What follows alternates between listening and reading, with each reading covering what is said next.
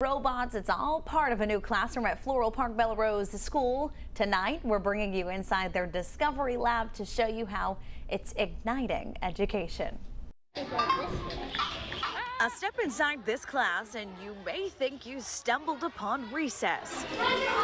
But this is the new Discovery Lab at Floral Park Bellerose School. Okay, this is the 360 turn. The students in here are learning all about STEAM, science, technology, engineering, art, and math. You know what, as a classroom teacher, and I taught math for many, many years, um, we always did project-based learning, and it's where the kids excelled. I would say aim to actually touch that. As you can tell, the whole basis of this lab is hands-on group work.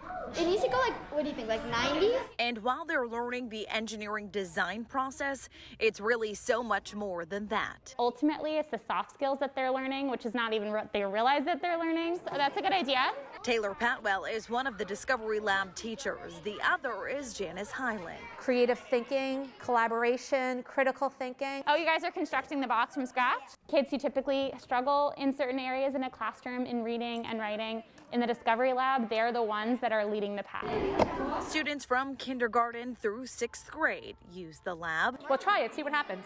But it doesn't stop once they leave the class. Parents have communicated back to me that they're so happy that their children are able to have an experience like this. It's motivating students and getting them excited about STEAM. I think the most important thing that they're learning is that they're together, that they're working together. Okay, let's see the loop go again. Especially after the pandemic year where they were home, isolated and working remotely. The biggest lesson of all now? Perfect. They're working together to accomplish a goal. Well, the district has another Discovery Lab also new this year at the John Lewis Childs School. Now they're hoping to continue to add to the Discovery Lab with hydroponic gardens and green screens for media projects.